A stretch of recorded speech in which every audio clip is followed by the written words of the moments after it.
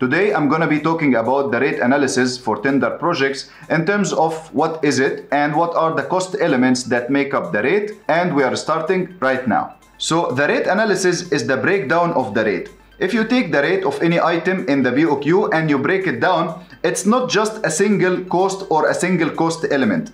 The rate of any item in the BOQ is coming from a combination of rates. And these cost elements or these rates are materials, equipment, manpower, and subcontractor. So the summation or the combination of these cost elements, they make up the rate for any item in the project or in the BOQ because construction is a little bit different from going to the supermarket. When you go to the supermarket, you ask for something if it is 10, for example, so the cost of this thing might be 5 plus another 3 overheads and all of that and maybe another 2 for the profit. So it is just the cost of the item plus the margins. But in construction, it's not like that. It is different from the trading. Because as we said, you have the materials, you have the manpower, you have the equipment, you have the subcontractors, you have so many things that will help you to achieve this item. So the costs of all these things should be there in the rate of the item. So when I say, for example, the reinforced concrete is 1000, this 1000 it includes everything the concrete, the steel, the formwork, the manpower, the shuttering people, the steel fixers and carpenters and the helpers and maybe you will need a subcontractor also. So this is what we mean by the rate breakdown analysis or tender rate analysis. And since we have briefly talked about the cost elements, the cost elements in construction are material, equipment, subcontractor, and manpower, and sometimes others also. So these are the five cost elements that we have. I personally, I don't use this others because all the costs that I found in the projects are either material, equipment, manpower or subcontractors only. So when we say cost elements, we are talking about these four elements that make up the cost rate of any item. Now let's start talking about these cost elements one by one and I want to start with the manpower. So when we talk about the labors, we need to understand two things. How much the labors are costing us per month and what the labors can produce per month. And when we have these two numbers, we can understand the cost of the activity in terms of manpower. The next cost element is materials. And actually for the materials, you need to understand the cost of purchasing the material and the coverage of this thing that you have purchased so that you can get the activity cost in terms of material. And you will say, Ahmed, listen, don't talk like that, explain. I will do this. Now let's assume that I have bought a bag of cement, okay, with a certain number or a certain amount. This bag of cement, how many, let's say, square meters of plaster this bag of cement can do?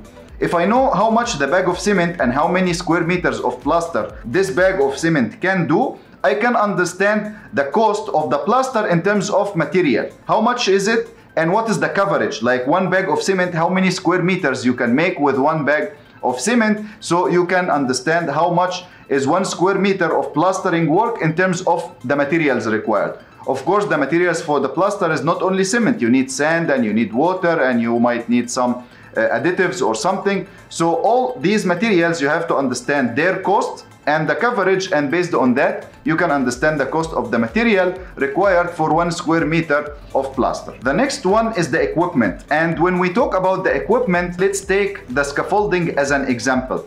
So for example, you will buy some scaffolding and you will spend a lot of money to buy this scaffolding and this scaffolding will be enough for you, for example, to do this much of square meters of form work in let's say four or five projects. So again, when you have the cost of the scaffolding or the equipment that you are buying, I am considering the scaffolding now as equipment. We will have the cost of the scaffolding, how much we are buying them, and how many square meters of form work we can do with this scaffolding so we can understand the activity cost in terms of equipment as well. This will also include things like the depreciation and all because when I told you now when we took the scaffolding as an example, I told you that the scaffolding will be enough for five projects. After the five projects, I am assuming that the cost of these scaffoldings will become zero. So I am charging the full amount or the full price of the scaffolding that I am buying to five projects or this much of square meters of formwork. And quickly, if we are meeting for the first time, I am Ahmed Adel and you are watching Cost Engineering Professional. And here I help you develop the required skills and enhance your knowledge to elevate your cost engineering career. So if this is what you want, you can quickly subscribe. So we talked about manpower and we talked about material and we talked about equipment. Now the fourth cost element is called subcontractors because you as a general contractor, you will not do everything in the project in-house. You will need the help of subcontractors. So some of the activities, you might do half of the activity by yourself, by your labors, and you will buy the materials and you will bring the equipment. And you might also need for the same activity, you might need a subcontractor. So in that case, the subcontractor is also a cost element. And in some other cases, the only cost that will be for this item or this activity will be only the subcontractor. So we need to be fully aware about the cost of subcontractors that will come into any item in our project. Now, when you have this cost for each and every item in the project, item wise, you will have how much is the material, how much is the equipment, how much is the manpower, and how much is the subcontractor. This will help you to understand how much is the total cost required for the manpower, not only in the activity, no, in the project overall. How much is the manpower cost? Or how much is the material cost? Or how much is the equipment cost? How much is the subcontractor cost? Why do we need this? Because when we add the margins, we need to keep these things into consideration because I'll not add the full margin. Let's assume, for example, a 15% margin.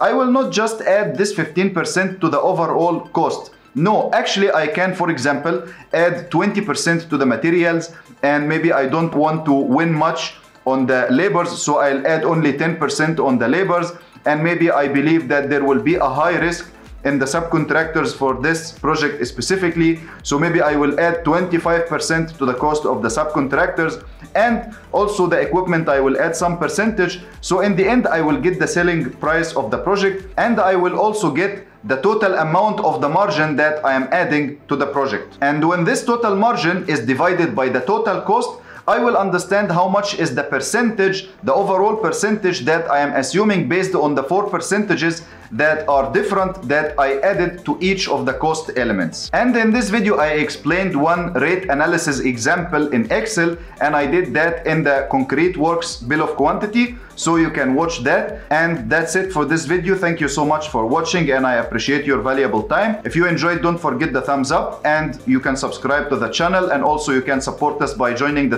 channel memberships and I'll see you in the next video.